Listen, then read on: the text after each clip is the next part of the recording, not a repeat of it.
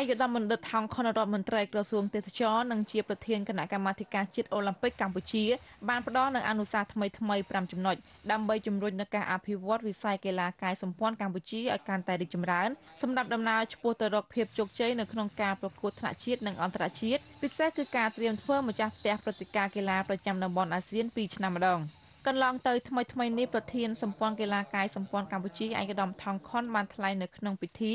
បិទការប្រកួតកីឡាកាយសម្ព័ន្ធដណ្ដើមពានរង្វាន់ឯកឧត្តមបណ្ឌិតថងខុនលើកទី1នៅពហុកីឡដ្ឋានជាតិថាថ្មីបើបច្ចុប្បន្នវិស័យកីឡាកាយសម្ព័ន្ធចាប់ផ្ដើមមានភាពផុសផុលច្រើនជាងមុនតែធនធានកីឡាករនិងកីឡាករនីឆ្នើនៅមានកម្រិតនៅឡើយដូច្នេះហើយទើបឯកឧត្តមសម្ដេចផ្ដល់អនុសាសន៍មួយចំនួនដើម្បីជំរុញការអភិវឌ្ឍប្រភេទកីឡាអូឡ িম্প ិកនេះឲ្យកាន់តែរីកចម្រើនបន្ថែមទៀត យុទ្ធសាស្ត្រ5ចំណុចនោះរួមមានទី1ត្រូវបណ្ដុះបណ្ដាលថ្នាក់តាមកម្រិតអាយុនិងបង្កើនគុណភាពនិងគុណផលកីឡាករកីឡាករនីតាមក្លឹបសមាគមកីឡាកាយសម្ព័ន្ធឲ្យបានទូលំទូលាយទី2ពង្រឹងសមត្ថភាពអញ្ញាកណ្ដាលចៅក្រមមន្ត្រីបច្ចេកទេសឲ្យកាន់តែល្អប្រសើរទាំងបរិមាណនិងគុណភាពទី3ជំរុញឲ្យមានការប្រកួតបានច្រើននិងមានការវឹកហាត់ជាប្រចាំ ទី4ពង្រឹងរចនាសម្ព័ន្ធគ្រប់គ្រងសម្ព័ន្ធក្លឹបនិងសមាគមទូទាំងប្រទេសឲ្យបានរឹងមាំនិងទី5ត្រូវប្រឹងប្រែងស្វែងរកដៃគូអភិវឌ្ឍបន្ថែមទៀតសូមបញ្ជាក់ថាសម្រាប់ការប្រកួតកីឡាដណ្ដើមពានរង្វាន់ឯកឧត្តមបណ្ឌិតថងខុនលើកទី1ឆ្នាំ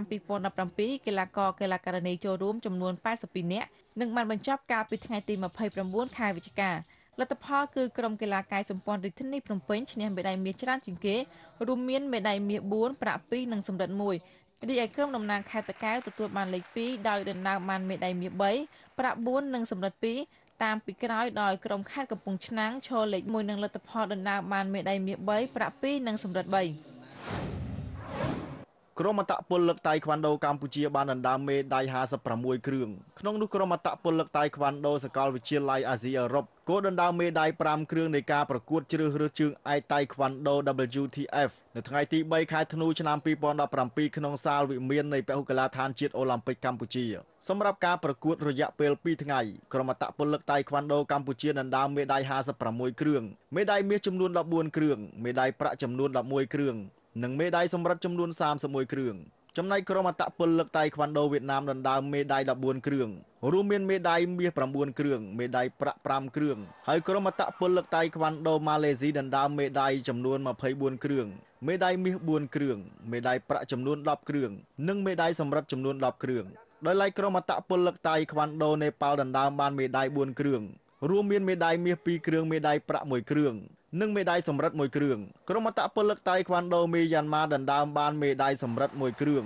រីឯក្រុមអតពលិកតៃខ្វាន់ដូចិនដណ្ដើមបានមេដាយប្រាក់មួយគ្រឿងសកលវិទ្យាល័យអាស៊ីអឺរ៉ុបមានលោកគ្រូពៅហុកជាប្រធានគ្រប់គ្រងកីឡាបានបង្ហាញពីក្តីរំភើបរីករាយដែលបានបញ្ជូនកីឡាករកីឡាការិនីចំនួន12នាក់ចូលរួមប្រកួតដណ្ដើមមេដាយនៅក្នុងព្រឹត្តិការណ៍ប្រកួតជ្រើសរើសជើងឯកតៃខ្វាន់ដូស្ទីល លោកថាព្រឹត្តិការណ៍មួយនេះអាចពង្រឹងសមត្ថភាពនិងអាចផ្ដល់នូវបទពិសោធន៍ដ៏ល្អដល់សិស្សគុណរបស់ខ្លួន លោកពៅហុកបានប្រាប់ទូរទស្សន៍ Night TV ថា លោកពិតជាមានទឹកចិត្តសប្បាយរីករាយជាខ្លាំងដែលបានបញ្ជូនកីឡាករកីឡាការិនីមកចូលរួមប្រកួតប្រជែងមេដាយជាមួយបណ្ដាប្រទេសដែលមានសមត្ថភាពខ្លាំងខ្លាំងមកប្រកួតជាមួយកីឡាករកម្ពុជាត្បិតលោកយល់ថាការប្រកួតលើកនេះគឺអាចឲ្យសិស្សគុណរបស់ខ្លួនបានដកស្រង់នៅបច្ចេកទេសថ្មីតិចនិចនិងបានសិក្សាកម្រិតសមត្ថភាពរបស់ពួកគេថាបានហាត់បែបណាហើយ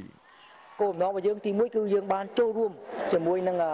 ព្រឹត្តិការណ៍អន្តរជាតិដើម្បីកីឡាករគាត់បានចូលរួមគាត់បានឃើញព្រឹត្តិការណ៍សំខាន់ដែរនេះទី2គឺយើងបានបញ្ជូនកីឡាករមកដើម្បីគាត់បានដឹងអំពីសមត្ថភាពកម្រិតបច្ចេកទេសគាត់ដល់ប៉ុណ្ណាបាទតែក្នុង event នេះយើងសង្ឃឹមថាអាចទទួលបានមេដាយមួយចំនួនតូចដែរដែលយើងមើលសមត្ថភាពកីឡាករយើងតែដោយសារការចូលប្រកួតវាច្រើនដូច្នេះយើងសង្ឃឹមថា យើងនឹងខិតខំប្រឹងប្រែងជំរុញកីឡាករយើងឲ្យចូលរួមទាំងម៉េចឲ្យបានទួបានមេដាយ គូបញ្ជាក់ថាក្រសួងអប់រំយុវជននិងកីឡានិងខេមរៈសហព័ន្ធតៃក្វាន់ដូស្ទីលដោយបានសហការជាមួយស្ថាប័នកម្ពុជាតៃក្វាន់ដូណុកគីអននិងស្ថានទូតសាធារណរដ្ឋកូរ៉េប្រចាំកម្ពុជាបានធ្វើជាម្ចាស់ផ្ទះនៃព្រឹត្តិការណ៍ប្រវត្តិសាស្ត្រដ៏អស្ចារ្យនិងលក្ខណៈអន្តរជាតិមួយគឺការប្រកួតកីឡាតៃក្វាន់ដូអេស៊ីណុកគីអនតែវុនដូហាងម៉ាដាងប្រចាំតំបន់អាស៊ីដែលមានកីឡាករកីឡាការិនីចូលរួមជាង5000នាក់ដែលមកពី8ប្រទេស តារាចម្រៀងសុគន្ធនិសាបានរៀបការរួចហើយកាលពីចុងសប្តាហ៍កន្លងទៅជាមួយនឹងអ្នកជំនួញធំម្នាក់ដែលជាខ្មែរអាមេរិកដោយមិននិយាយពីការចំណាយលើមង្គលការនាងទាំងមូលថ្លៃសម្អាងការដែលតារាស្រីរូបនេះបានចំណាយគឺមានចំនួន4800ដុល្លារនេះបើតាមការបង្ហើបប្រាប់ពីម្ចាស់សម្អាងការសំអាងការដែលសុគន្ធនីសាបានជួននេះមានឈ្មោះថានប់ដាណេសំអាងការដែលជាសំអាងការល្បីឈ្មោះមួយក្នុងចំណោមសំអាងការល្បីនៅក្នុងប្រទេសកម្ពុជា លោកនប់ដាណេដែលជាអ្នកផាត់មុខធ្វើសក់និងជាថៅកែសម្អាងការផងនោះបានឲ្យដឹងថាសម្អាងការរបស់លោកមានតម្លៃចែកជា4កញ្ចប់ផ្សេងគ្នាដោយក្នុងនោះមានតម្លៃចាប់ពី1800ដុល្លារដល់4800ដុល្លារហើយសុគន្ធនីសាបានជួលនៅក្នុងកញ្ចប់ពិសេសជាងគេ។ លោកបានរៀបរាប់ឲ្យដឹងថាសម្រាប់កញ្ចប់ដែលសុគន្ធនីសាជួលនោះគឺគ្រប់ម៉ូដសម្លៀកបំពាក់ដែលកូនកំលោះកូនក្រមុំស្លៀកសុទ្ធតែកាត់ថ្មីទាំងអស់និយាយរួមគឺបរិខាតាក់ទងទៅនឹងសម្អាងការក៏សុទ្ធតែកំងថ្មីទាំងអស់ដូចគ្នាជាមួយគ្នានោះក៏មានការបំរើអាចារ្យនិងភ្លេងខ្មែរផងដែរថ្ងៃមង្គលរបស់បងនីសាគឺគាត់កំងអ្វីដែលជាពិសេសសម្រាប់គាត់សំបីតែអាវសំបីតែសពុតហូលផាមួងគឺគាត់កំងថ្មីគ្រប់កម្មវិធីសម្រាប់គាត់គឺគាត់ពាក់ដំបងគេទាំងអស់ អលង្ការដែលពួកខ្ញុំមានគឺខ្ញុំរៀបចំពិសេសសម្រាប់គាត់ហ្នឹងហើយហើយអ្វីដែលដូចខ្ញុំនិយាយមិញអញ្ចឹងអ្វីដែលគាត់ស្រឡាញ់គឺគាត់ស្រឡាញ់នៅទម្រង់ដែលពួកខ្ញុំតែងតែរៀបចំកន្លងមកហ្នឹងហើយដូចខ្ញុំនិយាយថាมันបុរាណពេកហើយក៏មិនសម័យលើសពេកដែរតាមការលើកឡើងលោកនប់ដាណេបានប្រឡូកនៅក្នុងវិស័យសម្អាងការនេះជាង10ឆ្នាំមកហើយរយៈពេលនេះលោកបានប្រាប់ថាខ្លួនធ្លាប់ផាត់មុខធ្វើសក់ឲ្យតារាល្បីៗជាច្រើនផងដែរដែលតារាទាំងនោះភាគច្រើនកំងឲ្យលោកជួយដូចជាថតឡើងក្របទស្សនវិស័យក៏ដូចជាថតស្ពតពាណិជ្ជកម្មជាដើម ងាកមកថ្ងៃកាត់ចំណងដៃសកលនិសានៅឯសន្តាគារលំដាប់ផ្កាយ5 Sofitel វិញឃើញមានភ្ញៀវកិត្តិយសជាច្រើននៅក្នុងនោះភាគច្រើនជាមិត្តសិល្បៈដែលស្និទ្ធស្នាលនិងជាពិសេសក្រុមតារាចម្រៀងនិងក្រុមការងាររបស់ផលិតកម្មរស្មីហងមាសព្រមទាំងតារាចម្រៀងនៅក្នុងក្រុមការងារផលិតកម្មថោនដែលជាទីនាងធ្លាប់ជ្រកកន្លងមក។ តាមការប៉ានប្រមាណភ្ញៀវដែលនាងបានអញ្ជើញមិនក្រោម1000នាក់ឡើយសូមបញ្ជាក់ផងដែរថាស្វាមីរបស់សុគន្ធនីសាត្រូវបានគេស្គាល់ឈ្មោះថាចៅសម្បត្តិហើយសម្បាគឺជាខ្មែរអានិកជនរស់នៅរដ្ឋ Lowell សហរដ្ឋអាមេរិកអ្នកទាំងពីរបានភ្ជាប់ពាក្យគ្នាជាង6ឆ្នាំដោយបានស្វែងយល់ចិត្តគ្នាជាច្រើនទម្រាំឈានដល់ការក្រាបផ្ទឹមមុនរៀបការសុគន្ធនីសានិងគូស្នេហ៍ត្រូវបានគេដឹងថាបានទិញផ្ទះចូលគ្នាបានមួយជុងនៅខណ្ឌឫស្សីកែវព្រមទាំងបង្កើតអាជីវកម្មក្រៅពីសិល្បៈមួយទៀតគឺបើកហាងគុយទាវខ្ចប់នៅកោះពេជ្រ លោកចៅសម្បត្តិហាសម្បាបច្ចុប្បន្នធ្វើការនៅក្រុមហ៊ុនធានារ៉ាប់រងអាយុជីវិតមួយដោយនៅក្នុងនោះលោកល្បីថាមានភាគហ៊ុនធំមួយនៅក្នុងនោះផងដែរក្រោយពីរៀបការគូស្នេហ៍មួយគូនេះនឹងធ្វើដំណើរទៅក្រេបទឹកឃ្មុំនៅកោះម៉ាឌីវដែលជាកោះល្បីល្បាញរបស់ពិភពលោកនិងជាកន្លែងដែលតារាស្រីទឹកមុខស្រស់ស្រទន់នេះតែងប្រាថ្នាហើយនាងក៏នឹងគ្រងយកកូនភ្លាមភ្លាមផងដែរ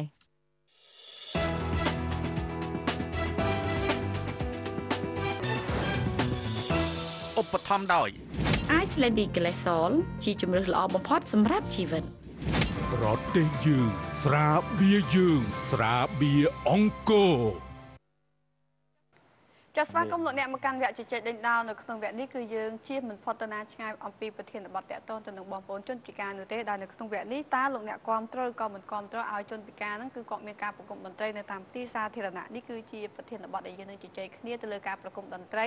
របស់បងប្អូនជនពិការនៅតាមទីផ្លូវគឺឬក៏ទីកន្លែងសាធារណៈដែលឡាយចំពោះជាបន្តទៀតនេះសូមទស្សនាជាមួយនឹងលក្ខខណ្ឌងាយៗដើម្បីចូលរួមជាមួយនឹងកម្មវិធីដំណឹងមុនគេតាមរយៈប្រព័ន្ធទូទូឡៃ ទស្សនិកជនអាចបង្កើតគណនី Tulay ដោយគ្រាន់តែចូលទៅកាន់ App Store និង Play Store បន្ទាប់មកស្វែងរកពាក្យ Tulay រួចហើយ download បន្ទាប់មកលោកអ្នកអាចបង្កើត account Tulay ដោយចុចលើរូបស្រោមសមុទ្រនៅខាងស្ដាំបំផុតដែលបង្ហាញកន្លែង sign in ជួបដំណើរទៅកាន់ Facebook ជាការស្រេចទស្សនិកជនអាចទស្សនាទូរទស្សន៍ Nice TV ដោយគ្រាន់តែវាយលេខកូដ933ដើម សូមរងចាំចូលរួមចាប់យកអាំងប៉ាវដើម្បីទទួលបាន voting point សម្រាប់ប្រើប្រាស់បោះឆ្នោតទៅលើចម្លើយនៃប្រធានបទដែលលោកអ្នកពេញចិត្តក្នុងវគ្គនីមួយៗលោកអ្នកអាចចូលរួមផ្ដល់ជាប្រទេសយោបល់ឬខលចូលរួមជជែកជាមួយពិធីករនិងលើកមិនទាំងពីរដោយគ្រាន់តែចូលមកកាន់គណនីទូទូឡាយរបស់ Night TV ដែលមានលេខកូដ933ដើម ចាជាបន្តទៅនេះសម្រាប់សំណួរធ្វើការបោះឆ្នោតនៅក្នុងវគ្គនេះតើលោកអ្នកគ្រប់គ្រងឬក៏មិនគ្រប់គ្រងឲ្យបងប្អូនជនពិការប្រគំតន្ត្រីនៅតាមទីសាធារណៈចំពោះលោកអ្នកដែលកំពុងតែទស្សនាជាមួយកម្មវិធីដំណឹងមុនគេហ្នឹងគឺចំពោះកញ្ចប់អាំងប៉ាវគឺបានទម្លាក់ហើយចាចឹងគឺលោកអ្នកអាចចុចលើកញ្ចប់បន្ទុកដើម្បីទទួលបានបន្ទុកហើយធ្វើការបោះឆ្នោតទៅលើចម្លើយកឬក៏ចម្លើយខគ្រប់គ្រងឬក៏មិនគ្រប់គ្រងចាចឹងចំពោះលទ្ធផលនេះខ្ញុំនឹងប្រកាសនៅចុងវគ្គនៃកម្មវិធីនេះតែម្ដងចាអញ្ចឹងដើម្បីកុំឲ្យខាតពេលយូរសូមទស្សនាជាមួយនឹងមតិយោបល់ក៏ដូចជាការយកឃើញរបស់ប្រជាប្រដ្ឋទៅលើប្រធានបទនេះបន្តិចសិនចាសម្រាប់យោបល់ខ្ញុំវិញការដែលលេងតន្ត្រីរបស់ជនពិការហ្នឹងខ្ញុំគិតថាអត់តខុសអីទេព្រោះអីគាត់អឺរកអីអាការទេហើយដល់ពេលដែលគាត់លេងអញ្ចឹងទៅក៏មានសប្បុរសធម៌ផ្សេងផ្សេងៗក៏គាត់ចូលអីអញ្ចឹងទៅគាត់ក៏អាចចិញ្ចឹមខ្លួនឯងបានហើយខ្ញុំគិតថាការច្រៀងជាសម្លេងតាមផ្លូវតាមអីវាមិនជាចោតជាបញ្ហាអីខ្លាំងទេព្រោះអីពេលខ្លះក៏ស្ដាប់ឈប់តាមស្តុបអីស្ដាប់ក៏គាត់ព្រោះដែរហើយក៏គាត់អាណិតតាមគំនិតរបស់ខ្ញុំខ្ញុំ មានការគ្រប់គ្រងទៅលើអឺការលេងហ្នឹងមួយចំនួនដែរហើយមួយទៀតគឺក៏មិនគ្រប់គ្រងដែរពេលខ្លះទៅតាមផ្លូវមួយចំនួនហ្នឹងវាមានការកកស្ទះហ្នឹងតែពេលដែលគាត់អឺលេងទៅវាធ្វើឲ្យអឺអ្នកធ្វើដំណើរហ្នឹងវាមានផលប៉ះពាល់ដូចជាគាត់ឈប់អីហ្នឹងទៅវាធ្វើឲ្យអ្នកផ្សេងៗទៀតមកពីក្រោយហ្នឹងវាស្ទះអញ្ចឹងណាបងខ្ញុំគិតថាប្រជាពលរដ្ឋយើងគួរតែគ្រប់គ្រងបន្ថែមចំពោះពួកគាត់ដោយសារតែពួកគាត់អត់មានលទ្ធភាពអីដែលអាចធ្វើជីវភាពផ្សេងពួកគាត់ពិការហើយពេលខ្លះគាត់ពិការផ្នែកទៀត អញ្ចឹងអឺបើសិនជាប្រជាពលរដ្ឋដែលនៅតាមផ្លូវខ្ញុំសូមអំពាវនាវឲ្យពួកគាត់ខ្ញុំសូមអំពាវនាវថែមថាពួកគាត់គួរតែជួយចេញជាថវិកាអីដែលអាចបានជាបន្តិចបន្តួចសម្រាប់ពួកគាត់ហើយអាចជួយពួកគាត់ឲ្យមានគេហៅថាស្នាមញញឹមនៅពេលរីករាយខ្ញុំគ្រប់គ្រងព្រោះអីហើយតាមផ្លូវសាធារណៈអត់មានប៉ះពាល់អីផងហើយណាមួយគាត់ជាជំនាញការហើយអឺទោះបីជាគាត់ទៅរកការងារផ្សេងក៏បានដែរដល់ពេលអញ្ចឹងហើយគាត់មានការខ្លួនព្រៃអញ្ចឹង ដើម្បីឲ្យឲ្យចាំជីវិតរបស់ខ្លួនគាត់គ្រប់គ្រងឲ្យគ្នាលេងតាមតាមផ្លូវហ្នឹងទៅគ្រប់គ្នារកអីមិនបានទេគ្នាល្ងិតគ្នា ចានេះគឺជាការលើកឡើងរបស់ប្រជាប្រដ្ឋពីគ្រប់មជ្ឈដ្ឋាននៅក្នុងការប្រគំតន្ត្រីរបស់បងប្អូនជនពិការនៅតាមទីសាធារណៈចាឥឡូវចូលមកដល់លោក Hero វិញនេះខ្ញុំចង់ដឹងថាតើលោក Hero លោក Hero កន្លងមកនៅពេលដែលធ្វើដំណើរនៅតាមទីសាធារណៈមួយចំនួនធ្លាប់បានឃើញសកម្មភាពការប្រគំតន្ត្រីរបស់បងប្អូនជនពិការទេបាទអឺកន្លងមកគឺខ្ញុំធ្វើដំណើរតាមផ្លូវគឺតែងតែជួបប្រទេសពួកគាត់ចា៎បាទគឺជួបជាញឹកញាប់ពីព្រោះខ្ញុំជាអ្នកចរាចរណ៍ក្នុងចា៎ក្រុងច្រើន បាទពេលខ្លះមួយថ្ងៃ សឹងតែថាបើកឡានសឹងតែពេញហ្មងបាទចា៎8ម៉ោងក៏មានដែរតែថានៅពេញក្រុងតែម្ដងចរាចរណ៍អញ្ចឹងធ្វើឲ្យជួបពួកគាត់ច្រើនអញ្ចឹងមកពាក់ព័ន្ធជាមួយនឹងអឺការគ្រប់គ្រងហើយមិនគ្រប់គ្រងបើសម្រាប់ខ្ញុំគឺបើបើយើងគិតពាក់ព័ន្ធជាមួយសកម្មភាពចា៎ក៏ពាក់ព័ន្ធជាមួយនឹងគេហៅថាច្បាប់ទម្លាប់គឺខ្ញុំអត់គ្រប់គ្រងទេគាត់ធ្វើអឺសកម្មភាពបែបនេះគឺតាមដងផ្លូវខុសចានេះពាក់ព័ន្ធជាមួយនឹងច្បាប់ទម្លាប់ក៏ប៉ុន្តែបើយើងគិតពីអឺគេហៅថាមនុស្សធម៌ក៏ពាក់ព័ន្ធជាមួយនឹងចិត្តសន្តោស គឺគិតថាក៏មិនបដិសេធគាត់ដែរដោយសារអីនៅតែទទូចសំណុំពរទទូចទៅរដ្ឋាភិបាលគួរតែស្វែងរកកន្លែងឲ្យពួកគាត់បាទពួកគាត់មិនចង់ទៅស្រែកច្រៀងតាមដងផ្លូវអញ្ចឹងទេក៏ប៉ុន្តែវាអត់មានជំរឹះ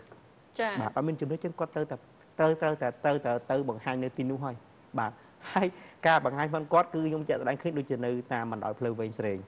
បាទពេញម្ដុំអឺគុលស្ពានស្ទឹងមានជ័យចិត្តវត្តស្ទឹងមានជ័យហ្នឹងខ្ញុំឃើញមានមួយក្រុមបាទចា៎ជួនកាលទៅមានតែកូនធំបាសទូចទូច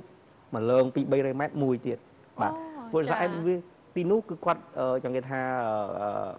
បនអឺសំអើចិត្តមនំរោងចក្រអញ្ចឹងទៅបងប្អូនអឺកម្មករកម្មការិនីគាត់ជាទូទៅគឺអ្នកអត់គាត់តែងតែយល់ទឹកចិត្តអ្នកអត់ចាអញ្ចឹងគាត់តែងទទួលទទួលបានការឧបត្ថម្ភទទួលបានការចា៎គ្រប់គ្រងពីបេក្ខខាងកម្មករកម្មការិនីច្រើន ច្រើនជាងអ្នកដែលនៅរាជក្នុងរាជធានីបាអឺទសរុបទៅតិចច្រើនអីគឺគាត់ជួយគ្នាបាទគាត់ជួយគ្នាចង់អឺលោកវ៉ាន់ថនវិញយល់យ៉ាងណាដែរចំពោះស្ថានភាពរបស់បងប្អូនជនពិការពិសេសគឺតកតទៅនឹងការប្រគំតន្ត្រីរបស់គាត់រាល់ថ្ងៃនេះបាទអឺបញ្ហានេះគឺអឺដូចជារៀងក្តៅកគុកបន្តិចបាទពួកអីកន្លងមកនេះគឺមានការអឺជជែកគ្នាគិតគូររឿងនេះច្រើនពិសេសអឺឃើញខាអឺខាងអឺរដ្ឋាភិបាលមាន ក្រុមប្រឹក្សាសកម្មភាពលើជនពិការហ្នឹងចា៎បាទលោកបានគិតគូរអឺអឺ រកកន្លែងណាសមរម្យដើម្បីឲ្យពួកគាត់អឺអឺប្រគំតន្ត្រីហ្នឹងបាទរហូតដល់ទៅអឺសម្ដេចនាយកក៏លោកបានអឺប្រគល់ជូននៅគ្រឿងតន្ត្រីទៅមក មកមកសម្រាប់បាទសម្រាប់បងប្អូនជនពិការយើងចា៎ហើយនឹងកំណត់ទីកន្លែងសម្រាប់គាត់លេងដែរបាទប៉ុន្តែចា៎បញ្ហាត្រង់ថាអឺកន្លែងដែលគាត់ចង់លេងគឺគាត់ចង់លេងនៅតែកន្លែងតាមស្តុបដែរចាបាទហ្នឹងហើយអឺបាទឆ្លៀតនៅក្នុងឱកាសនេះអឺនេះខ្ញុំសូមរំលឹកឡើងបន្តិចថាកន្លងទៅនៅពេលដែលពួកគាត់មានការប្រគំតន្ត្រីនៅតាមស្តុបហ្នឹងយើងឃើញថាមានបងប្អូនខ្លះគាត់ក៏អឺអឺអឺអឺចូលរួមជួយប៉ុន្តែអឺមានបងប្អូនខ្លះលោកក៏បានលើកឡើងអំពីផលរំខាននៃការប៉ះពាល់ទៅដល់ពួកគាត់ដូចគ្នាអញ្ចឹងសាលាក្រុងក៏បានរៀបចំនៅទីតាំងដូចជានៅម្ដុំវត្តភ្នំបាទដើម្បីឲ្យពួកគាត់ប្រគំតន្ត្រីប៉ុន្តែយើងឃើញថាជាក់ស្ដែងគឺឥឡូវហ្នឹងគឺនៅវត្តភ្នំហ្នឹងអឺនេះខ្ញុំដូចជាមិនច្បាស់ថាមានឬក៏មិនមានទេប៉ុន្តែតាមស្តុបគឺនៅតែមានដដែលអាហ្នឹងគឺតាក់ទងនឹងផាតអីទៅលោកវ៉ាន់ថនមិនគាត់អត់ទៅប្រគំតន្ត្រីនៅទីនោះបាទអឺឆ្លើយដោយខ្លីគឺអឺធម្មតាយើងធ្វើអីក៏ដោយគឺបងប្អូនគាត់គាត់ចូលចិត្តទៅកន្លែងណាគាត់ចង់ទៅកន្លែងនោះអញ្ចឹងណាបាទហើយប៉ុន្តែអ្វីដែលខ្ញុំចង់ជម្រាបជូនកន្លែងនេះគឺអឺការប្រគំតន្ត្រីបើថាគ្រប់គ្រងឬមិនគ្រប់គ្រងអឺ យើងយើងពិបាកនិយាយព្រោះវាជាប់នៅលក្ខខណ្ឌចា៎បាទអញ្ចឹងគឺការប្រគំតន្ត្រីមិនខុសទេបាទបាទប៉ុន្តែអឺយើងត្រូវគិតអំពីសណ្ដាប់ធ្នាប់ថាចា៎តើអឺបើយើងធ្វើនៅកន្លែងណាដែលអឺខាងអាជ្ញាធរអឺគាត់ពេញចិត្តនឹងអនុញ្ញាតឲ្យធ្វើចា៎អានេះគឺអាជ្ញាធរត្រឹមត្រូវកំណត់បាទយើងបើយើងនិយាយអំពីសិទ្ធិដែលយើងធ្វើគឺយើងត្រូវបូកជាមួយកាតព្វកិច្ចដែរចា៎បាទអញ្ចឹងអឺរឿងទាំងពីរនេះត្រូវតែគិតគូរជាមួយគ្នាបាទអញ្ចឹងអឺអឺ យើងគួរតែចែករឿងពីរហ្នឹងអឺដាច់ដោយឡែកបាទចាអឺកាលពីមុនយើងបានលើកឡើងថា គឺយើងចង់ឲ្យអាជ្ញាធរលោករៀបចំកន្លែងសម្រាប់ពួកគាត់ នៅក្នុងការប្រគំតន្ត្រីក៏ដូចជាការច្រៀងដើម្បីស្វែងរកនៅថវិកាដើម្បីទ្រទ្រង់ជីវភាពរស់នៅប៉ុន្តែដូចខ្ញុំបានលើកឡើងអំបីមិញចឹងថានៅពេលដែលមានអាជ្ញាធរគឺលោកបានកំណត់ថាទីតាំងវត្តភ្នំគឺជាកន្លែងដែលពួកគាត់អាចប្រគំតន្ត្រីបានក្រៅពីហ្នឹងគឺអឺខាងអាជ្ញាធរគឺមិនអនុញ្ញាតទេដោយសារយើងតាក់ទងទៅនឹងសណ្ដាប់ធ្នាប់សាធារណៈនិងរបៀបរៀបរយផ្សេងផ្សេងៗចាអញ្ចឹងនៅពេលដែលអឺពួកគាត់មានកន្លែងហើយហើយគាត់មិនទៅចាអញ្ចឹងនេះខ្ញុំចង់ដឹងថាតើមូលហេតុអ្វីអឺលោកអឺវ៉ាន់ថុនដឹងទេបានជាគាត់សម្រេចចិត្តថាមិនទៅ ទោះបីជាលោកវ៉ាន់ថុនបានលើកឡើងអំបីមិញថាដោយសារតែអឺអឺភាគច្រើនគឺគាត់ចង់ធ្វើអីនៅកន្លែងណាគឺគាត់ចង់កន្លែងណាគាត់មិនចង់គាត់មិនទៅប៉ុន្តែនេះខ្ញុំជឿជាក់ថាបន្ថែមពីលើនោះមួយទៀតក៏ច្បាស់ជាមានរឿងអីនៅពីក្រោយនោះទៀតឧទាហរណ៍ថានៅ stop គាត់គិតថាកន្លែងហ្នឹងអាចនឹងរកលុយបានច្រើនបាទរកថវិកាបានបាទច្រើនពិតនេះអាចបាទនៅវត្តភ្នំគឺខ្សត់ខ្សោយចាបាទបាទអញ្ចឹងតើលោកបន្ថនគិតថាយើងគួរតែធ្វើមិនទៅដើម្បីយើងនៅចំណុចកណ្ដាលទាំងអស់គ្នាទីមួយកុំឲ្យប៉ះពាល់ទៅដល់សម្ព័ន្ធភាពក្រុងពេកមួយទៀតគឺយើងអាចជួយទៅដល់ពួកគាត់ បាទនេះគឺជាបញ្ហាដែលអឺអឺមានភាពស្មុគស្មាញណាក្នុងចា៎ការគិតគូរបាទពីព្រោះអឺអឺសំខាន់គឺនៅតាមស្តុបហ្នឹងគឺគាត់អាចរកថវិកាបានច្រើនចាប៉ុន្តែរឿងអ្វីដែលយើងគួរតែរួមគ្នាពិចារណាហ្នឹងគឺអឺនៅពីក្រោយខ្នងនៃនៃសកម្មភាពអស់ហ្នឹងអឺពីព្រោះថាអឺយើងមើលឃើញថាមុនដំបូងទៅបងប្អូនជនពិការរបស់យើងគាត់គាត់អឺគាត់ប្រគំតន្ត្រីហ្នឹងចា៎ជាលក្ខណៈតូចតាចអីចឹងប៉ុន្តែក្រោយមក អឺអាចមាននឹងសកម្មភាពអីផ្សេងៗដូចថាមានការគ្រប់គ្រងឬក៏មានទៅជាអាជីវកម្មឬក៏អាចឈានទៅដល់ការកេងប្រវ័ញ្ចអីផ្សេងផ្សេងៗអឺនោះដែលយើងគួរតែអឺពិចារណានិងសិក្សាមើលបាទចាអរគុណសម្រាប់ការផ្ដល់នៅមតិយោបល់ក៏ដូចជាការយកខិលឥឡូវនេះយើងទៅមើលប្រជាប្រដ្ឋយើងមួយរូបគាត់បានចូលរួមជាមួយនឹងកម្មវិធីរបស់យើងតើតើទៅនឹងប្រធានបទក្នុងការប្រគំតន្ត្រីរបស់បងប្អូនជនពិការនេះតើគាត់យកឃើញយ៉ាងណាយើងជួបជាមួយនឹងគាត់ទាំងអស់គ្នាចាសូមអញ្ជើញចាអឺជំរាបសួរបងប្រុស ជំរាបសួរចាអឺបងប្រុសរាល់ថ្ងៃនេះបងនៅពេលដែលធ្វើដំណើរនៅតាមដងផ្លូវដែលជួបទៅនឹងបងប្អូនជនពិការគាត់ប្រគំតន្ត្រីនៅតាមស្តុបតាមអីទេបងចាបាទជួបដែរជួបដែរនៅតាមស្តុបអីធ្លាប់ឃើញដែរ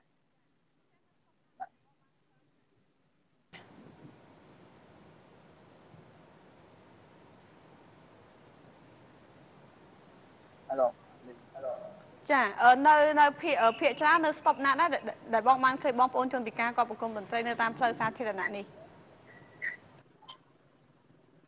បាទខ្ញុំធ្លាប់ជួបនៅច្រើននៅស្តុបអឺពកពងគឺស្តុបជាការម៉ូតអីហ្នឹងណាបាទបងយល់យ៉ាងណាដែរនៅពេលដែលឃើញចា អឺនេះខ្ញុំចង់ដឹងថាបងយល់ឃើញយ៉ាងណាដែរនៅពេលដែលឃើញពួកគាត់ប្រគំតន្ត្រីនៅតាមទីសាធារណៈហ្នឹងហើយអឺសម្រាប់ខ្លួនបងតើបងគ្រប់គ្រងឲ្យពួកគាត់ប្រគំតន្ត្រីនៅតាមទីសាធារណៈនេះទេឬក៏មិនគ្រប់គ្រងចាបាទចំពោះទូកខ្ញុំអីខ្ញុំគិតថាបើសិនជារដ្ឋាភិបាលអត់មានការកាត់គូដល់ជីវភាពរបស់គាត់អញ្ចឹងគួរថាឲ្យគាត់អនុញ្ញាតឲ្យគាត់រកតាមលើស្តុបនឹងដើម្បីចិញ្ចឹមខ្លួនរបស់គាត់តាម តែបើសិនជាមានរដ្ឋាភិបាលគិតគូជួយគាត់កុំឲ្យគាត់ធ្វើថានៅតាមផ្លូវស្តុបហ្នឹងគួរតែដោះស្រាយឲ្យគាត់បានជីវភាពទូទៅក្នុងការរស់នៅចិញ្ចឹមខ្លួនរបស់គាត់ព្រោះគាត់ពិការមិនដឹងទៅពឹងរកស៊ីអ្វីទេមានអាការប្រកបអញ្ចឹងខ្ញុំអត់មានទៅទៅមានតែជួយក្រុមគ្រួគាត់ព្រោះគាត់មិនដឹងជាមានមុខរបរអីចិញ្ចឹមជីវិតរបស់គាត់បាទយើងមិនដែរលោក Hero មានអីចង់សម្រាប់សម្រាប់ ចូលបងមានអីសំណូមពរដល់បងប្អូនប្រជាពលរដ្ឋក៏ដូចជាអឺថ្នាក់ដឹកនាំឲ្យគាត់គិតគូរដល់ជនពិការបាទខ្ញុំសូមសំណូមពរដល់ប្រជាពលរដ្ឋដែលធ្វើដំណើរតាមផ្លូវអីប៉ុន្តែជាបានជួបគាត់ហើយក៏មានសទ្ធាបន្តិចបន្តួចហើយសូមមេត្តាជួយគាត់ផងព្រោះឥឡូវនេះដូចថាគាត់នឹងអត់ទាន់មានរដ្ឋាភិបាលឬអង្គការណាសម្រាប់ គាត់គង់ជួយគាត់ឲ្យបានរស់នៅបានស្រួលសុខភាពដូចយើងមនុស្សជានេះទេមានតែគាត់ធ្វើអញ្ចឹងហ្នឹងបាទចាបាទអរគុណចាលោកវ៉ាន់ថនយ៉ាងណាដែរចាមានអីចង់អឺសំណេះសំណាលជាមួយបងប្រុសចាបាទអឺចង់សួរដោយត្រង់អឺកន្លងមកលោកធ្លាប់បានអឺអឺជួយឧបត្ថម្ភយថាវិការទេដល់ក្រុមតន្ត្រីដែលលេងតាមស្តុបហ្នឹងបាទបាទខ្ញុំធ្លាប់ជួយបន្តិចបន្តួចដែរបាទមិនបានជាច្រើនធំធំអីទេបាទបាទ អរគុណណាបងប្រុសណាបាទសម្រាប់អរគុណការច្រើនចូលរួមចាជួបគ្នានៅឱកាសក្រោយចាបាទអរគុណសូមជម្រាបលាចាយើងឃើញថាអឺគាត់ក៏អឺពិតជាមានការយល់ព្រមបើថាអឺប៉ុន្តែក៏បានលើកឡើងដែរថាបើសិនជាអឺមិនអនុញ្ញាតឲ្យពួកគាត់ប្រកបមន្ត្រីគួរតែមានអីដើម្បីជួយពួកគាត់ក្រៅពីការរៀបចំកាលហើយគួរតែមានអីផ្សេងទៀតដើម្បីជួយគាត់ចាអឺលោកប៉ាន់ថុនអឺសម្រាប់តកតងទៅនឹងបញ្ហាជនពិការនេះខ្ញុំចង់ដឹងថាតើ តើនៅក្នុងអឺនាមយើងជាប្រជាពលរដ្ឋអឺក្រៅពីការផ្ដល់ជួយផ្ដល់នៅអឺថវិកាបន្តិចបន្តួចតាមរយៈការប្រគំតន្ត្រីនេះតើយើងអាចជួយអ្វីទៅដល់គាត់បានទៀតចា៎បាទអឺការដែលយើងជួយឧបត្ថម្ភអឺតាមរយៈអឺអឺប្រាក់ឧបត្ថម្ភរបស់យើងបន្តិចបន្តួចចា៎សម្រាប់ជួយគាត់ហ្នឹងជាជាកាយវិការមួយដ៏ល្អសប្បុរសធម៌មិនថាទៅជាមួយជនពិការចា៎ឬក៏អ្នកមិនពិការក៏ដោយបាទព្រោះការអឺ នេះជាសន្តានចិត្តរបស់យើងបាទពីព្រោះអឺអ្វីក៏ដោយធម្មតាយើងបានអឺវិភាគទានឬក៏ជួយគ្រប់គ្រងអីមួយយើងមានអារម្មណ៍សប្បាយចិត្តចា៎ជាខ្លះក្នុងខ្លួនយើងបាទនេះគឺជាអឺចំណុចល្អប៉ុន្តែអឺខ្ញុំអឺចង់បញ្ជាក់ថានេះមិនមែនជាវិធីសម្រាប់ជួយទេចា៎បាទបាទអឺនេះជាអឺវិធីដែលសម្រាប់ជួយនោះគឺសំខាន់បំផុតគឺអឺត្រូវជួយអឺបងប្អូនរបស់អឺជនពិការរបស់យើងឲ្យគាត់មានសមត្ថភាពចា៎ បាទហើយសមត្ថភាពដែលខ្ញុំចង់បញ្ជាក់នៅក្នុងកន្លែងនេះគឺសមត្ថភាពអឺលើសអំពីសមត្ថភាពជំនាញរបស់គាត់ពិសេសគឺឲ្យពង្រឹងសមត្ថភាពដឹកនាំគ្រប់គ្រងបាទនេះគឺជាសមត្ថភាពមួយដែលសំខាន់ឲ្យគាត់អាចដឹកនាំជីវិតរបស់គាត់បានអញ្ចឹងចា៎នៅពេលដែលរាជរដ្ឋាភិបាល លោកបានផ្ដល់នៅសេវាគ្រប់គ្រងផ្សេងផ្សេងៗអញ្ចឹងទន្ទឹមតែគាត់មានសមត្ថភាពនឹងទទួលយកបាននៅសេវានោះអញ្ចឹងអឺអឺលទ្ធភាពពីរនឹងហើយដែលធ្វើឲ្យគាត់អាចមានជីវិតមួយមានការអឺកែប្រែបានចាបាទអាចមានភាពល្អប្រសើរទៅមុខចាអឺលោក Hero នេះខ្ញុំចង់ដឹងថាសម្រាប់លោកដែលធ្វើដំណើរច្រើនអមិនមែនលោក Hero បានលើកឡើងថាមានពេលខ្លះសឹងតែ8ម៉ោងនៅលើឡានក៏មានដែរចាអញ្ចឹងនៅពេលដែលឃើញសកម្មភាពរបស់បងប្អូនជនពិការដែលពួកគាត់មានការប្រគំតន្ត្រីតើពេលខ្លះលោកគិតថាអឺអាចជាការរំខានទេសម្រាប់អ្នកដែលគាត់ធ្វើដំណើរនៅលើដងផ្លូវឬក៏អ្នកដែលឈប់ចាំស្តុបអីឬក៏អ្នកដែលគាត់មានទីលំនៅក្បែរខាងនៅចិត្តទីនោះបាទដូចខ្ញុំជម្រាបជូនខាងដើមអញ្ចឹងបើយើងគិតពាក់ព័ន្ធជាមួយនឹងច្បាប់ក៏ដូចពាក់ព័ន្ធជាមួយសម្ដាប់ធ្នាប់គឺវាខុសចាក៏ប៉ុន្តែបើសិនជាយើងគិតពីអឺអ្វីដែលគាត់ធ្វើគឺគាត់ធ្វើដើម្បីរស់បាទព្រោះក្រដាស័កគឺគាត់ធ្វើដើម្បីរស់ចាឆ្លើយតបជាមួយនឹងសំណួរខេងសួរខាងដើមអញ្ចឹងតែហេតុអីបានគាត់ចូលចិត្តទៅប្រគំនៅ ចាតាមដងផ្លូវទីនោះបើភាសាបច្ចេកទេសពាក់ព័ន្ធជាមួយនឹង business គេថា marketing គឺគាត់ទៅធ្វើទីនោះដោយសារឯទីនោះគឺមានតម្រូវការមានហាមានទីផ្សារចាពេលដែលគាត់ទៅប្រគំនៅទីនោះគឺមានអ្នកចូលរួមគ្រប់គ្រងគាត់ច្រើនច្រើនជាងគាត់ទៅទីនោះហើយដូចជាអឺសាលាក្រុងគាត់បានរៀបចំទីតាំងមួយសម្រាប់ពួកគាត់ហេតុអីបានគាត់មិនទៅប្រគំនៅទីនោះដោយសារអីវាអត់មានអ្នកគ្រប់គ្រងអត់មានអ្នកឧបត្ថម្ភចាដោយសារនៅទីនោះអឺបងប្អូនប្រជាពលរដ្ឋគាត់អត់បានទៅប្រមូលផ្ដុំនៅទីនោះហើយ អឺធ្វើឲ្យឱកាសនៃការទទួលបាននៃការអឺគ្រប់គ្រងថវិកាវានៅចាមានកម្រិតអញ្ចឹងធ្វើឲ្យគាត់ចាប់ផ្ដើមបែងផ្ញែកចាស់ណាទៅតាម stop ឬទៅតាមទីតាំងណាដែលគាត់គិតថាមានទីផ្សារមានការគ្រប់គ្រងបាទអញ្ចឹងពេលខ្លះអឺថាធ្វើធ្វើយ៉ាងម៉េចដើម្បីឲ្យអឺអឺគាត់កាត់បន្ថយគឺពួកយើងទាំងអស់គ្នាហ្នឹងគឺចូលរួមគ្រប់គ្រងបាទអញ្ចឹងបាទខ្ញុំតែងតែទទូចទៅស្ថាប័នដែលពាក់ព័ន្ធដូចជាផ្នែកវិស័យសិល្បៈចាវិស័យសិល្បៈមានសមាគម អញ្ចឹងគួរតែគិតគូរដល់ពួកគាត់ដែរគាត់មានលទ្ធភាពច្រៀងគាត់មានលទ្ធភាពបង្ហាញពីបច្ចេកជំនាញផងគាត់ពាក់ព័ន្ធជាមួយនឹងតន្ត្រីអញ្ចឹងគួរតែសមាគមគួរតែរកផ្លូវឬគួរតែគិតគូរដល់គាត់យើងទាំងអស់គ្នា ទាំងរាជរដ្ឋាភិបាល ទាំងសមាគម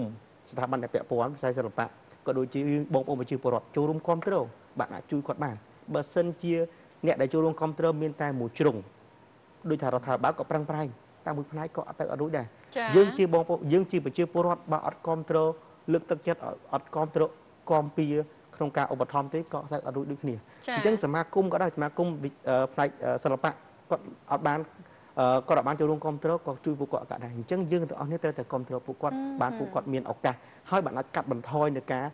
អឺបង្ហាញជំនាញផ្សេងផ្សេងដូចជាការប្រកបតន្ត្រីតាមស្តុកនេះបានអញ្ចឹងពេលនោះ យើងតែត្រូវតាំងធ្វើអញ្ចឹងប៉ះពាល់សម្រាប់ធ្នាប់តែគាត់អត់មានជំរឿសចាបាទអត់មានជំរឿសបាទ ចាអមិញមិញបងប្រុសដែលយើងបានសម្ភាសសំណាងមួយគាត់តាមរយៈប្រព័ន្ធទូទូឡៃខ្ញុំសួរគាត់ថាតាភាគច្រើនលោកបានឃើញបងប្អូនជនពិការប្រគំតន្ត្រីនៅតាមទីណាខ្លះលោកបានលើកឡើងថាគឺឃើញនៅឯស្តុបចកាមនៅឬក៏ឧទាហរណ៍ជាក់ស្ដែងដូចជានៅស្តុបបកគោជាដើមចាឥឡូវនេះគឺមិនខុសពីអ្វីដែលបងលើកឡើងទេគឺយើងក៏កំពុងតែត្រៀមក្រុមការងាររបស់យើងនៅទីនោះគឺកញ្ញាកឹមកញ្ញារដ្ឋនឹងធ្វើសេចក្តីការពីស្តុបបកគោចង់ដឹងថាតានៅខណៈដែលយើងកំពុងតែផ្សាយផ្ទាល់នៅក្នុងកម្មវិធីដំណឹងពេលព្រឹកចាគឺដំណឹងមុនគេរបស់ទូរទស្សន៍ Night TV នេះតើខណៈនេះបងប្អូនដែលជាជនពិការរបស់យើងលោកមានបានធ្វើការប្រគំតន្ត្រីតាមទីនោះដែរឬទេយើងទៅជួយជាមួយនឹងកញ្ញាគឹមកញ្ញារដ្ឋទាំងអស់គ្នាចាសូមអញ្ជើញកញ្ញាចា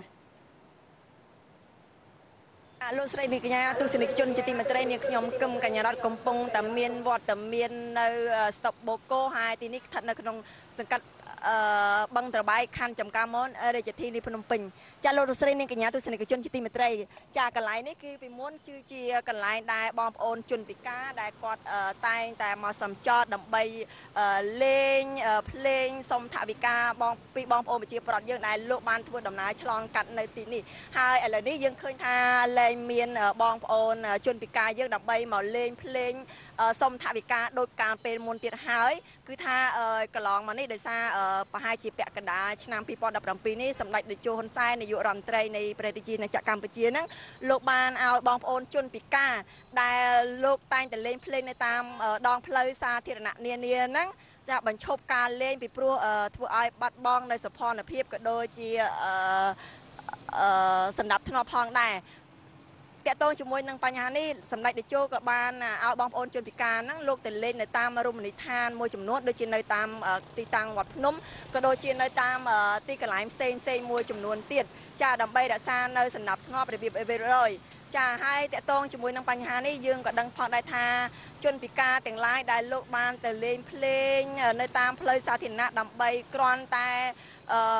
រកថាវិការខ្លះខ្លះចិញ្ចឹមជីវិតនឹងក្រុមគ្រួសារនោះ ដោយសារតែពួកគាត់មិនមានលទ្ធភាពទៅធ្វើការនៅខាងក្រៅហើយតកតងនឹងបញ្ហានេះកន្លងមកសម្ដេចតេជោហ៊ុនសែនលោកក៏បានប្រកាសសូមឲ្យបងប្អូន ជាទូទៅក៏ដូចជាតាមក្រសួងស្ថាប័នក៏ដូចជាផ្នែកឯកជនមួយចំនួនហ្នឹងកុំរើសអើងជាមួយជនពិការព្រោះអីជនពិការក៏លោកមានសមត្ថភាព ឬក៏មានទឹកចិត្តនៅក្នុងការបំពេញកាតព្វកិច្ចការងារជូនជាតិមាតុភូមិបានដូចគ្នា តែបើទោះជាយ៉ាងណាក៏ដោយចោះយើងក៏មិនសូវបានឃើញមិនបានឃើញទាល់តែសោះថាក្រមខាងឯកជននឹងក្រុមហ៊ុនឯកជនមួយចំនួនទទួលយកជនពិការបងប្អូនជនពិការដើម្បីចូលបម្រើការងារនោះទេដែលឡែកមានតែអង្គភាពរដ្ឋតែប៉ុណ្ណោះដែលក្នុងឆ្នាំ2017នេះយើងឃើញថាមាន43ស្ថាប័នដែលបានទទួលជាមួយនឹងជនពិការហើយក្នុងឆ្នាំ2017នេះផងដែរមានចំនួនជនពិការដែលចូលបម្រើនៅក្នុងអង្គភាពរដ្ឋហ្នឹងមានចំនួន2737នាក់ចានេះអឺសបបញ្ជាក់ថាមានតែនៅក្នុងស្ថាប័នរដ្ឋតែប៉ុណ្ណោះហើយតកតងជាមួយនឹងបញ្ហានេះចង់ដឹងថាតើបងប្អូនប្រជាប្រដ្ឋយើងយល់ឃើញយ៉ាងណាដែរហើយធ្លាប់ឆ្លងកាត់ទីនេះឃើញថាមានជនពិការធ្លាប់មកលេងហ្នឹងយ៉ាងណាឥឡូវសូមជួបជាមួយគាត់តែម្ដងចាបាទជំរាបសួរបាទចាខ្ញុំមកពីខាងទូទូណៃទី2បងបងធ្លាប់ឆ្លងកាត់ទីនេះច្រើនដងទេ បងបាទធ្លាប់ឆ្លងច្រើនច្រើនដងបងចាបងកាលពីមុនបងបានឃើញនៅបងប្អូនជនពិការដែលលោកមកអឺសំចតដើម្បីសុំថវិកាពីបងប្អូនប្រទេសទេអឺពីមុនមានប៉ុន្តែពេលឥឡូវនេះអត់ឃើញអត់ឃើញមាន ចាបងយល់ថាមូលហេតុអីដែរបានអត់មានចឹងបងបើមូលហេតុគាត់ពួកក្មេងគាត់ពិការរកអីមិនកើតបានគាត់សុំច្រៀងហើយជីសុំលុយប្រជាពលរដ្ឋតាមផ្លូវហ្នឹង មកដើម្បីផ្គត់ផ្គង់អាយុជីវិតតទៅមុខទៀតបាទបាទចាសម្រាប់បងផ្ទាល់បងគិតថានឹងបន្តឲ្យជនពិការហ្នឹងគួរតែលេងភ្លេងនៅតាមដងផ្លូវសាធារណៈឬមួយក៏ទៅលេងនៅតាមរមណីយដ្ឋាននានាដែលសម្ដេចដែលលោកបានមានប្រសាសន៍លើកឡើងពេលមុនបងខ្ញុំចង់ឲ្យគាត់ទៅលេងតាមមូលដ្ឋានព្រោះអីកុំឲ្យថាប្រជាពលរដ្ឋថាម្នាក់ថាចេះម្នាក់ធ្នត់ឯងស្ទះការធ្វើដំណើរតាមផ្លូវអរគុណ ច្រើនបងប្រុសចាអរគុណច្រើនចាលោកស្រីនាងកញ្ញាទស្សនិកជនជាទីមេត្រីលោកអ្នកបានដឹងហើយថាបងប្អូនជនពិការលោកក៏មិនចង់ អឺមកដើម្បីលេងភ្លេងនៅតាមសាធារណៈនេះដែរប៉ុន្តែដោយសារខ្វះថវិកានៅក្នុងការចិញ្ចឹមជីវិតក៏ដូចជាមានការលំបាកនៅក្នុងទៅរកការងារធ្វើនោះដូច្នេះហើយមានតាមកលេងភ្លេងដើម្បីសុំថវិកាពីបងប្អូនប្រជាប្រដ្ឋចាលោកលោកស្រីនិងកញ្ញាទស្សនិកជនទីមេត្រីដោយសារពេលវេលាមានកំណត់ចានាងខ្ញុំកញ្ញារត រួមជាមួយនឹងលោកអើចិត្តដែលជាក្រុមការងារក៏សូមជម្រាបលាតែប៉ុណ្ណេះហើយក៏ប្រគល់ទូនីតិនេះទៅកាន់អ្នកនាងភូស៊ីខេងវិញចាអរគុណចាជម្រាបលា កូនកញ្ញាកុំកញ្ញារតសម្រាប់សេចក្តីការពីអស្តុបបូកូជាទីតាំងដែលភាគច្រើនគឺបងប្អូនជនពិការលោកធ្វើការប្រគំតន្ត្រីនៅទីនោះដើម្បីស្វែងរកថវិកាផ្គត់ផ្គង់នៅជីវភាពរស់នៅរបស់ពួកគាត់ប្រចាំថ្ងៃចា៎អឺលោកវ៉ាន់ថននេះខ្ញុំចង់ដឹងថាតកតងទៅនឹងជីវភាពរស់នៅប្រចាំថ្ងៃរបស់បងប្អូនជនពិការបច្ចុប្បន្ននេះយើងឃើញថាមានស្ថានភាពយ៉ាងណាដែរសម្រាប់ការរស់នៅប្រចាំថ្ងៃរបស់ពួកគាត់ពិសេសគឺតកតងទៅនឹងការរកចំណូលចូលទៅក្នុងគ្រួសារនេះតែម្ដងបាទអឺ ក៏ដូចជាប្រជាពលរដ្ឋទូទៅ យើងឃើញថាបងប្អូនដែលមានពិការភាពរបស់យើងគឺភាគច្រើនគាត់នៅមានបញ្ហានៅក្នុងផ្នែកជីវភាពបាទបញ្ហានៅក្នុងផ្នែកជីវភាពនេះដោយសារមានកត្តាគូផ្សំច្រើនយ៉ាងគឺតាំងពីតាំងពីដើមមកគឺគាត់ខ្វះខាតគាត់មិនបានចូលរៀន បាទបាទគាត់បាត់បង់នៅឱកាសក្នុងការទទួលបានការអប់រំមិនសូវមានឱកាសក្នុងការទទួលបាននៅជំនាញអញ្ចឹងគាត់ធ្វើឲ្យសមត្ថភាពរបស់គាត់មានកម្រិតអញ្ចឹងលទ្ធភាពក្នុងការដែលទទួលបានការងារដែលសម្រាប់រកចំណូលបាននោះគឺ គឺនៅមានកម្រិតខ្លាំងណាស់បាទសម្រាប់ចំនួនបងប្អូនជនពិការនៅក្នុងឆ្នាំ2017ដែលជារបាយការណ៍ចំនួនតួលេខរបស់កញ្ញាកឹមកញ្ញរដ្ឋបានលើកឡើងថាមានតែជាង2700អ្នកតែប៉ុណ្ណោះដែលត្រូវបានស្ថាប័នរដ្ឋនឹងគឺទទួលនៅក្នុងការធ្វើការសម្រាប់លោកវ៉ាន់ថុនដែលធ្វើការពាក់ព័ន្ធទៅនឹងបញ្ហាក៏ដូចជាការអភិវឌ្ឍទៅលើបងប្អូនជនពិការទៅលោកវ៉ាន់ថុនគិតថាតើចំនួននេះគ្រប់គ្រាន់ហើយឬនៅឬក៏យើងត្រូវឲ្យមានយើងទៀមទានៅការចង់បានបន្ថែមទៀតចំនួនបងប្អូនជនពិការដែលធ្វើការក្នុងស្ថាប័នរដ្ឋបាទចំនួននេះគឺ មិនទាន់គ្រប់គ្រាន់នៅឡើយទេជាទស្សនៈផ្ទាល់របស់ខ្ញុំបាទដែលធ្វើក្នុងវិស័យវិការភាពបាទនៅក្នុងគោលការណ៍របស់រាជរដ្ឋាភិបាលកំណត់ឲ្យស្ថាប័នរបស់រដ្ឋទទួលយកនៅបងប្អូនជនពិការធ្វើជាមន្ត្រីរាជការហ្នឹង2%ប៉ុន្តែលទ្ធផលឥឡូវនេះយើងសម្រេចបាន1.70ជាងបាទចាចឹងនៅបន្តិចទៀតបាទបាទនៅនៅសល់បន្តិចទៀតបាទប៉ុន្តែយ៉ាងណាក្តីបើតាមព័ត៌មានដែលចេញពីប្រភពផ្សេងផ្សេងពិសេសពីធនាគារពិភពលោកឬក៏ អង្គការ WHO បានបានវាតម្លៃឃើញថាពិការភាពនៅក្នុងប្រទេសកម្ពុជាអាចមានចន្លោះពី10ទៅ15%ឯណោះបាទអញ្ចឹងគឺតួលេខហ្នឹងឃើញថាខុសគ្នាឆ្ងាយអញ្ចឹងដែលដូចខ្ញុំជម្រាបជូនតាំងពីដំបូងថាដោយសារនិយមន័យនៃការឲ្យទៅលើពិការភាពហ្នឹងមានលក្ខណៈខុសខុសគ្នាបាទអញ្ចឹងគឺនិយាយចំទៅគឺយើងអាចនឹងមានមន្ទិលសង្ស័យមួយថានៅមានបងប្អូនជនពិការច្រើនទៀត ដែលមិនទាន់បានទទួលបាទនៅឱកាសការងារឱកាសការងារនិងទទួលរកចំណូលបាទលើកម្ពស់កម្រិតជីវភាពបាទចាអរគុណឥឡូវយើងទៅមើលការខមមិនចូលរួមរបស់ប្រជាពលរដ្ឋពេញម្ដងតាមរយៈប្រព័ន្ធទូទូឡាយចង់ដឹងថាតើគាត់យល់ឃើញយ៉ាងណាដែរចំពោះការប្រកបតន្ត្រីរបស់បងប្អូនជនពិការនៅតាមទីសាធារណៈចាតារាខ្ញុំមិនគ្រប់គ្រងឲ្យមានការប្រគំតន្ត្រីតាមទីសាធារណៈទេព្រោះប៉ះពាល់មកប្រទេសជាតិចា លោកអឺ Hero អាចជួយអានជាមួយនឹងខ្ញុំបន្តទៅលើពិទូបាទពិទូបើមិនអោយគ្នាប្រគំតន្ត្រីតន្ត្រី តាមទីសាធារណៈតើឲ្យទៅលេងក្នុងចាប្រហែលជាថាឲ្យទៅលេងនៅកន្លែងណាអីអញ្ចឹងទៅចាបាទបាទហើយជាបន្តយើងក៏មានការខមមិនចូលរួមចាអូនៅក្នុងផ្ទះមានអ្នកណាឲ្យលុយចាហើយវណ្ណាចាអឺ គ្នាធ្វើអ្វីអ្វីដើម្បីតែក្រពះបិទភ្នែកខ្លះទៅចាហើយដាណែតអឺជីវិតអើយជីវិតហេតុអ្វីវេទនាយ៉ាងនេះចា អរគុណសម្រាប់យោបល់របស់បងប្អូនវិជាប្រដ្ឋយើងឃើញថាមានពួកគាត់ហ្នឹងគឺ comment ចូលរួមច្រើនប៉ុន្តែយើងក៏សូមទោសនៅក្នុងការអានជូននៅមតិយោបល់របស់បងប្អូននៅមិនអស់ដែលជាទស្សនៈដែលបងប្អូនចង់បញ្ចេញទៅលើប្រធានបទដែលយើងកំពុងតែជជែកពិភាក្សាគ្នានេះចាឥឡូវនេះយើងទៅមើលការប្រកាសលទ្ធផលដែលប្រជាពលរដ្ឋបោះឆ្នោតគ្រប់គ្រងចង់ដឹងថាតើពួកគាត់បោះឆ្នោតគ្រប់គ្រងចម្លើយកឬក៏ចម្លើយខគ្រប់គ្រងឲ្យមានការប្រគំតន្ត្រីនៅតាមទីសាធារណៈឬក៏មិនគ្រប់គ្រងសូមក្រុមការងារបង្ហាញនៅតារាងលទ្ធផលយើងទទួលបាននៅតារាងលទ្ធផលនេះហើយចាគឺ50 50ចាអញ្ចឹងមានន័យថាអ្នកដែលកំពុងទស្សនាបងប្អូនខ្លះលោកគ្រប់គ្រងរីឯបងប្អូនខ្លះក៏លោកមិនគ្រប់គ្រងចំពោះការប្រគំតន្ត្រីនៅទីនោះចាអរគុណសម្រាប់ការទស្សនាខណៈនេះខ្ញុំទាំង3អ្នកសូមទៅសម្រាប់បទិសិនចា បុគ្គលភាពនាពេលបន្តិចនេះលោកអ្នកនាងនឹងបានទស្សនាប្រវត្តិរបស់លោកបណ្ឌិតវង្សសុធិរា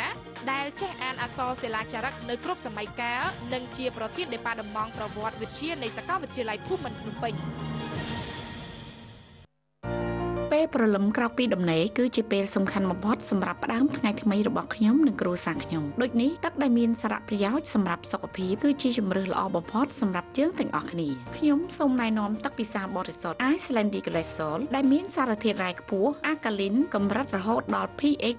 8.4ដែលមានសារៈប្រយោជន៍ល្អបំផុតសម្រាប់សុខភាពជួយបំបត្តិភាពនឿយហត់បង្កើនអុកស៊ីសែនក្នុងឈាមធ្វើឲ្យឆ្អឹងរឹងមាំជួយរំលាយអាហារកាត់បន្ថយជាតិអាស៊ីតនិងជួយពង្រឹងប្រព័ន្ធការពារ